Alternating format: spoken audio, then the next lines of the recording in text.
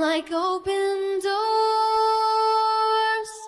leading you down into my core, where I become so numb without a soul.